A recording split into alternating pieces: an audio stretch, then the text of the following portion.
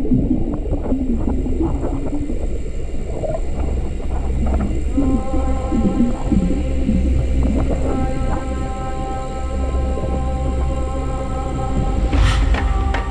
portal to a new world, an underworld, highly regarded for thousands of years by the Mayan people and cultures even before them as a source of life and fresh water. A place where gods would visit, a spiritual place with cathedral-like caves linked by waterways like veins underneath the surface of Mexico. Fearless cave divers and Tulum locals Dave and Nadia have been exploring the cenotes for the last 20 years, creating maps and helping the local community have more insight into the sheer scale of the underground rivers and the secrets that they hold laying beneath their feet. So we're going to Monkey Dust today. Yes, All right, should we get our gear on? absolutely. All right, let's go. Let's go diving.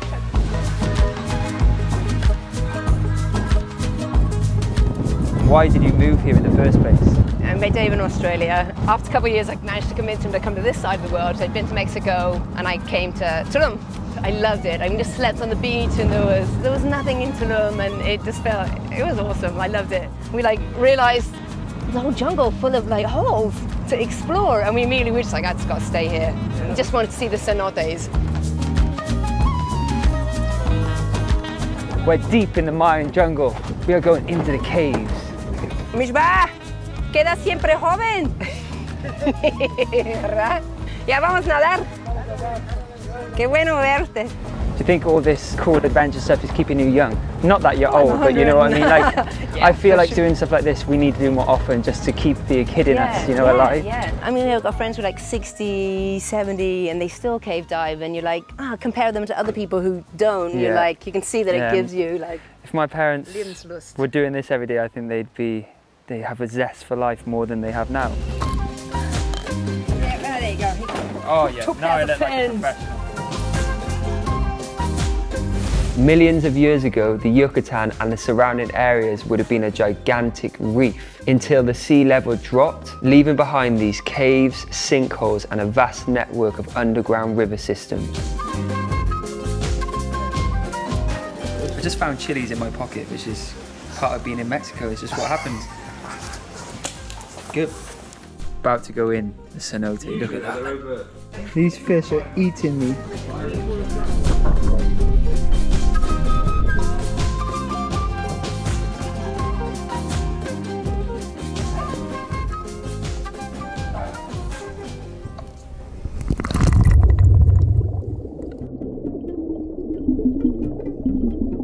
Water was crisp, refreshing, and crystal clear. It was teeming with an abundance of life. Limestone stalagmites, spears, and deep tree roots were all around us.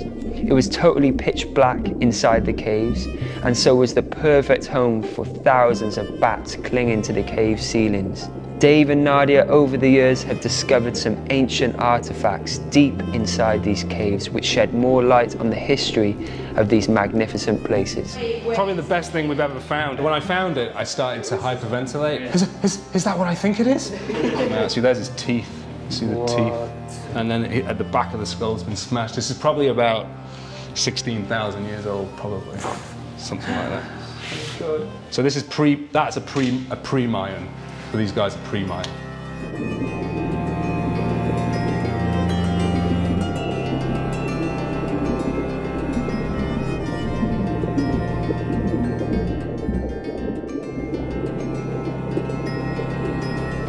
Okay, well, I guess we're inside the. inside the belly of the earth. Yeah, it's quite it's quite rare to get air bells here. Also, you would uh, usually be totally submerged in the cave, but this is it's exactly like this underwater too. I can see why you spent the last couple of decades exploring these unbelievable caves. It's like being in cathedrals, they're unbelievable. Trees are, are drinking this, you know? Yeah, you see No. the connection. You see the proper connection between outside and inside. Yeah.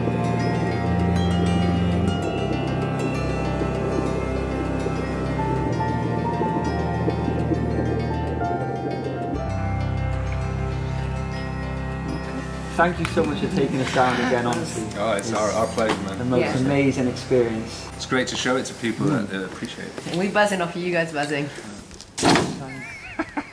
So from the cenotes to a food given sacred status by the Mayans, so highly regarded it earned the name food of the gods. Consumed as a drink on special occasions, in spiritual rituals, and even the seeds were used as a form of currency. Cacao has long been treasured by the Mayan people and people of Mexico for its healing and powerful benefits. It is thought to have possessed such powerful skills that it's able to help the dead transition into the afterlife and heal illnesses. Chocolate factories are common in all regions of Mexico, and obviously chocolate is a key ingredient in so many recipes. So I traveled to Otti to taste some traditional Mayan cacao. Buenas tardes. Hola. ¿Cuero recomiendas? Um, el Moonlight es muy rico. Es lavanda con menta. Muy rico. Ok, Moonlight, por favor. Ok. Ok, gracias. De nada. So cacao. Part of the magic of cacao is that it's got some huge benefits like uh, body-wise. It's got lots of magnesium, calcium, fiber, and it's a huge plant medicine to the body, but also to the spirit. So in our culture, in our ancestors, they used to drink it as a, as a drink to the heart. So it's a drink to feel joy. The medicine of cacao, it's joy. It's strongly connected to the heart center. So that's part of our intention too in Otti, to create a space and people can come and have a drink and perhaps leave the space heart first. Mm. Muy rico. Gracias.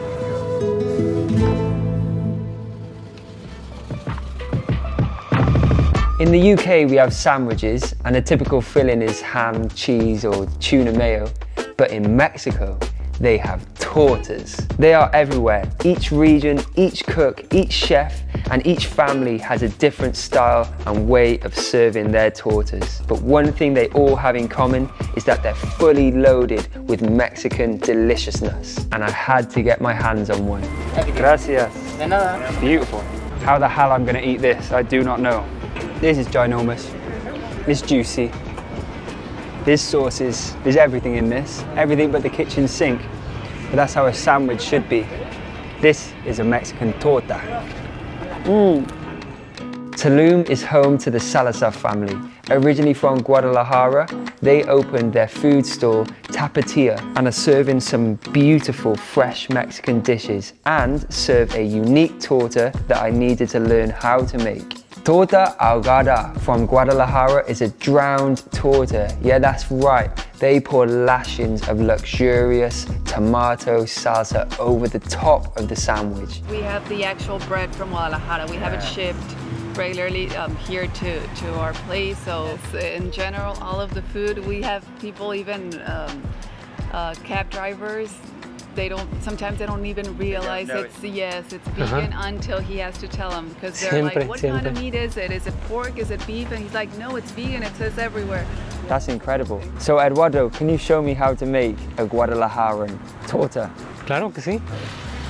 Smells amazing this bread. It's so crunchy and crisp as well. So I guess that's perfect for when you throw a load of sauce on top of it. So crunchy. Yes. It's amazing.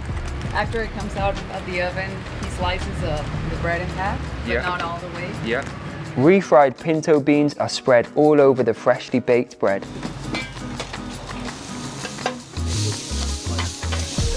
Después ponemos eh, las carnitas de seitán. Ponemos aquí en el plato Fresh onion. Yes, fresh. Nice. y tiene que eh, morir un poquito en, en agua.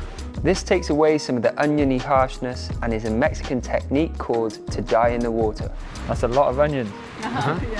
And then to finish, the Mexican tomato salsa is just poured simply all over the sandwich.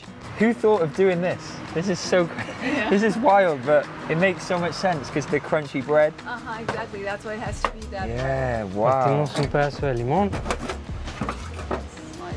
Y se lo ponemos así poquito arriba. Wow. Y Oh, this is the hot sauce. esta es la salsa very spicy de like chile this. de You árbol. can get this on. Esta, este chile va molido con, con especias y queda así súper picoso. Gracias. Look at that. Mucho gracias. I've got the napkins at the ready for this. I'm going to need Claro them, right? sí, sí, la tradición es comérsela con la mano. Okay. Wow.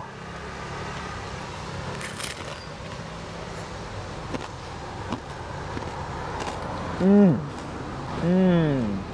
What I really like is how the bread is still crunchy, but it's just coated in this luxurious tomato sauce. This is amazing. Mmm. I don't think it's a good idea to have a beard when eating one of these Guadalajara tortas. and you're gonna need lots of napkins. The bread is like a soft, crunchy pillow. It's been covered in the sauce so nicely, but it's still crunchy and, and springy and soft. Mmm. Sí, hay, hay una fusión del- de la salsa de jitomate que es un poco dulce con el, lo picoso del chile de árbol. Hace una mezcla de sabores y esa es la que sabe muy, muy rico. There's so many different layers of flavor. It's very meaty as well. Your seitan is amazing. This is incredible. Gracias. But quite crazy, I think. To pour loads of sauce over a sandwich is it's mind-blowing. It's very strange. It makes me want to go to Guadalajara because I reckon it'll be quite an exciting place to be. Muchas gracias. so much for having us. No problem. You're a mini vegan cook. Wow. What's your favorite thing to cook? Ice cream and Ice cream's your favorite, isn't it? yes, do, you- do you like torta? yes, Yeah? yes, It's big though, right? it's big. Yo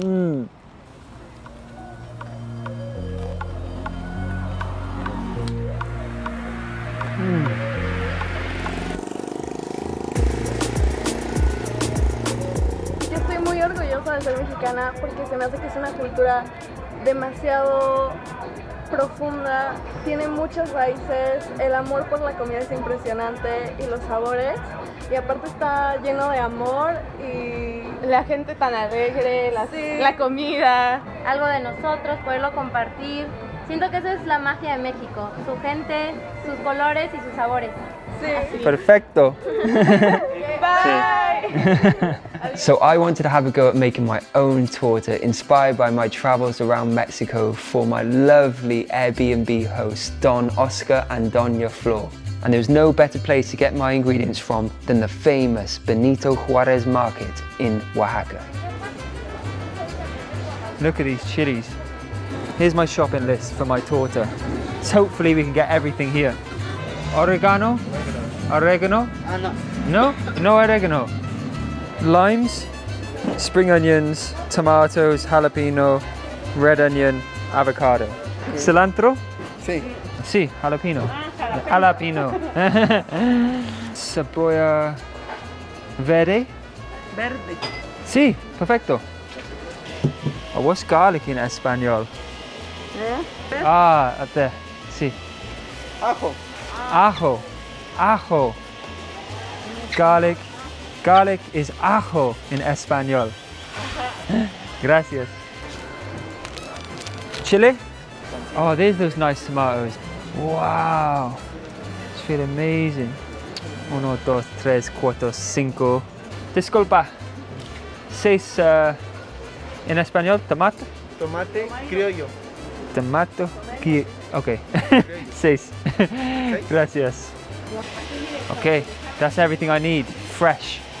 Maduros pero maduros. Hopefully that is. Try before you buy. What's 200 grams in Spanish? Perfect. Oh, gracias. Muy elegante. Gracias. Hasta luego. Hasta luego. Hola. Anchoti? Ah, Achiote. ach- achiote? Sí. Achiote. Ok, gracias.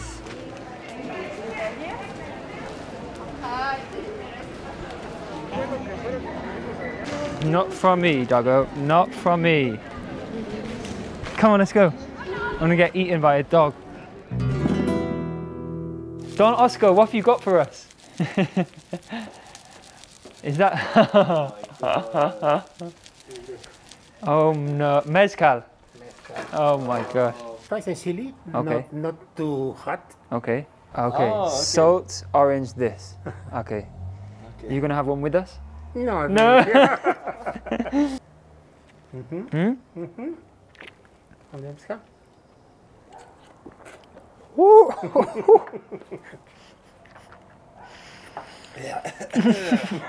very strong, but very good. Oscar, am I um, Mexican now? After this? Wonderful. See? 100% Mexican. I have your, you, uh, bring your birth certificate.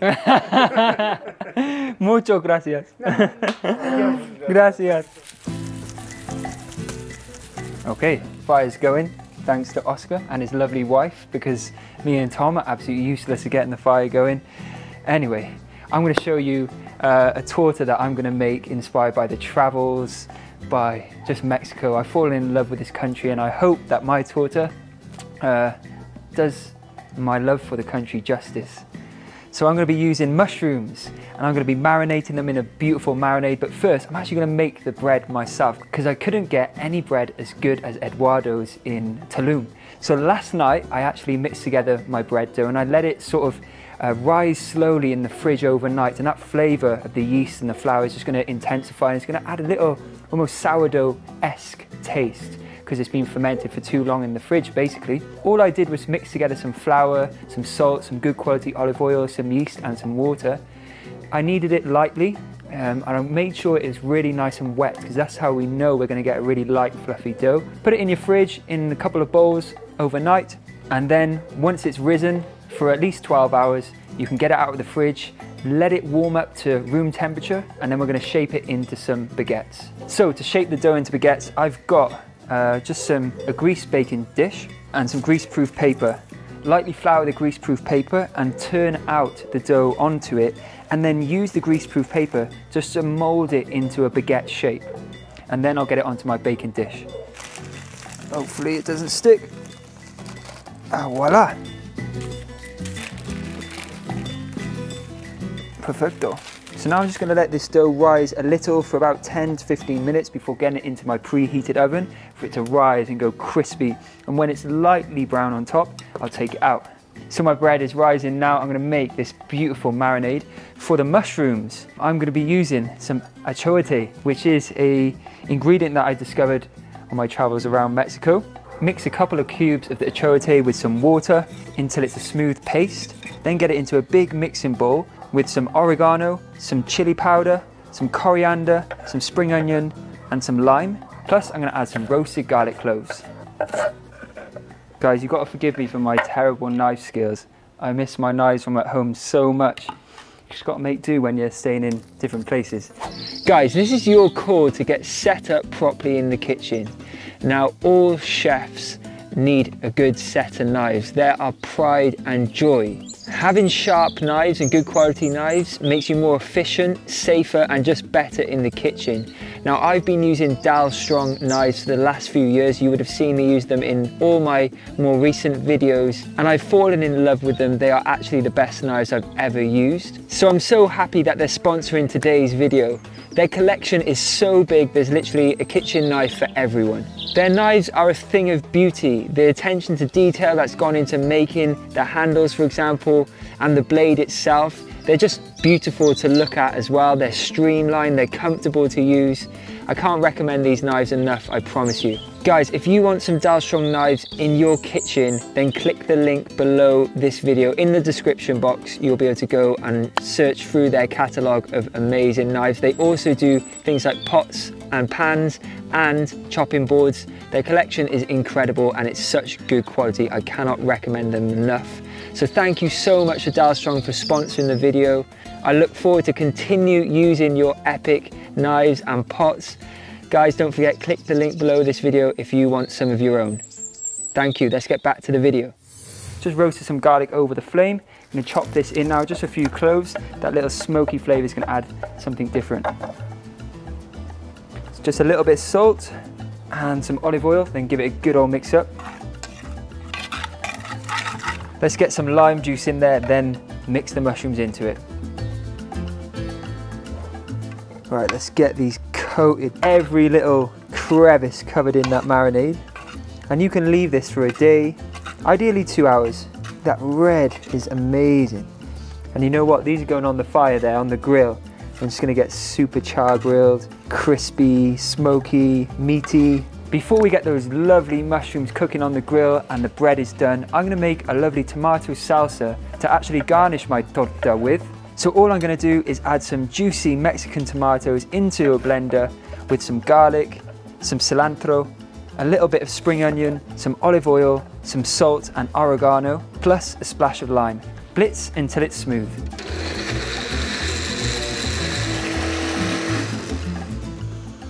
Oh, that smells good. The sun here just makes the best ever tomatoes. I'll check that for seasoning just before serving and you can add some chili to it for a spice, but I'm actually gonna be serving mine with some of my homemade chili de arbol sauce. So it's gonna be spicy as a mother trucker. What a Mexican treat we have here. A beautiful sunset, the bread's nearly done, and it's time to cook the mushrooms. Grill's super hot, so I'm just gonna get them on. Woo. Sizzle, that's what we need. I wanna get these charred, to be honest with you. Lovely bit of color. I want these to be meaty. Mmm, muy rico. Fuego. Yeah, boy. Who says vegan food is boring? Look at this. We're grilling, baby. Carnitas. Yeah, boy. Beautiful.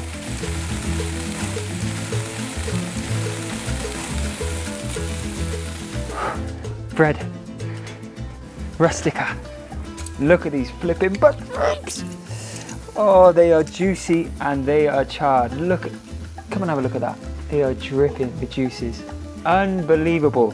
And I'm actually quite proud of this bread because if you would have seen the effort that we had to put in to find levadura de pan yesterday, aka yeast, it was crazy. We went to about 17 different stores, I'm sure of it.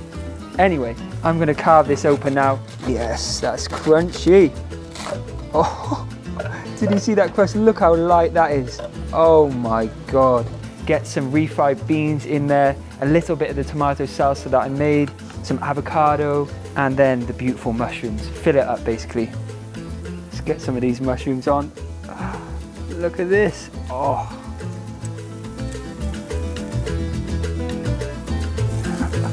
This is epic. Get these mushrooms on top. Cram as many as you can get in there. It's literally, it looks and it's gonna taste like meat, I just know it. Bit of limon. Onion.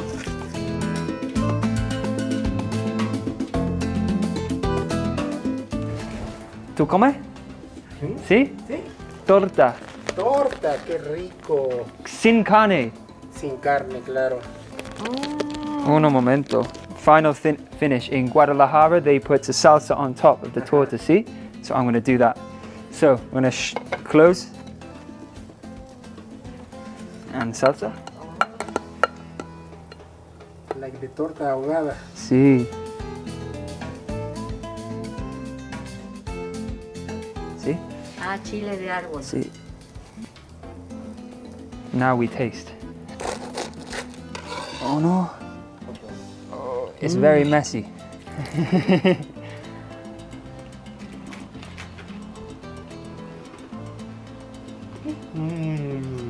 Good? Muy rico? Muy rico. Yeah.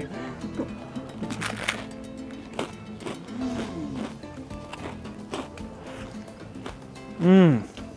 How do you say not bad in Spanish? No está mal. No está mal. Sí. No está mal. No está mal de comer, ¿eh? Mm. Thank you for letting us stay here. Qué lejos estoy del suelo donde nací.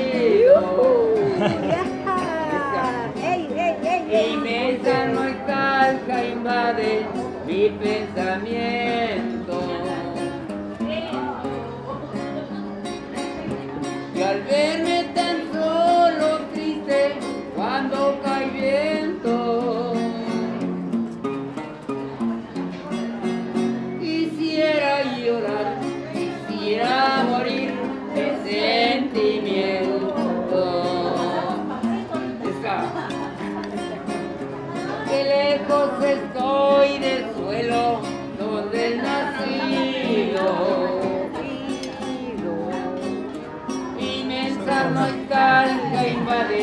Mi pensamiento. Y al verme tan sola triste cuando cae viento,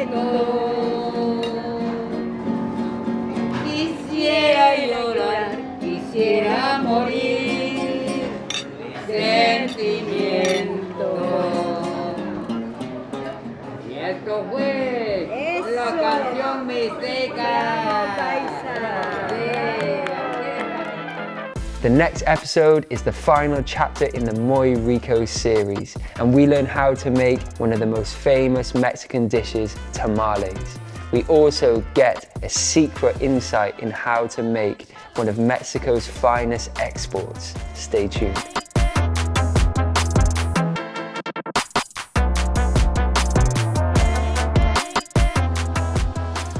Torta, ag- torta ahogada. Torta ahogada. I can't say.